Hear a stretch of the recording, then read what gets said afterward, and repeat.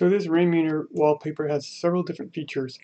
First one, if you left click on a poster, it will bring up the character in the bottom right, and it'll also change the icon in the bottom and the top.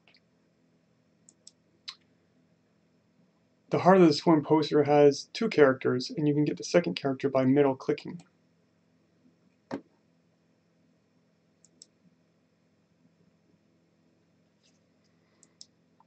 Another feature, if you don't want your computer to use as much CPU for the characters, you can middle click on the character and it will freeze the character. Then if you want to animate again, you can double left click on the character.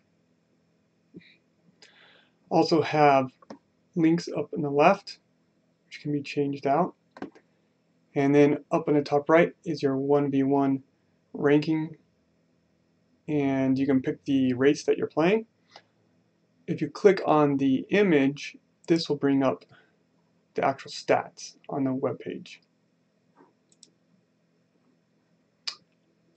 Another feature is if you click on the StarCraft at the top, it'll open up your Blizzard app so you can start StarCraft.